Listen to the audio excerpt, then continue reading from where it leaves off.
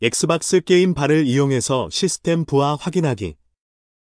Xbox Game Bar는 주로 게임 플레이 할 때 사용되는 앱인데 그 중에서 성능 위젯은 시스템 부하를 점검하는 데도 유용하게 사용할 수 있습니다. 그러면 Xbox Game Bar의 성능 위젯을 사용해 보겠습니다.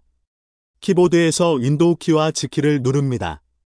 여기에 성능 위젯이 있습니다. 만약 성능 위젯이 없으면 상단 메뉴에서 성능 아이콘을 누르면 됩니다. 성능 위젯의 상단을 마우스로 드래그해서 적당한 곳으로 이동시킵니다.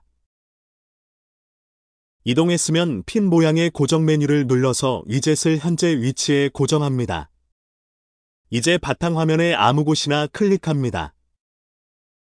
성능 위젯만 남고 다 사라졌습니다. 이제 컴퓨터를 사용할 때 성능 위젯에서 부하가 걸리는 하드웨어를 확인할 수 있습니다. 점검이 끝나고 성능 위젯을 종료시키려면 다시 윈도우 키와 G키를 누릅니다. 핀 모양의 고정 메뉴를 누릅니다. 바탕화면의 아무 곳이나 클릭합니다. 여기까지 Xbox Game Bar를 이용해서 시스템의 부하를 확인하는 방법이었습니다.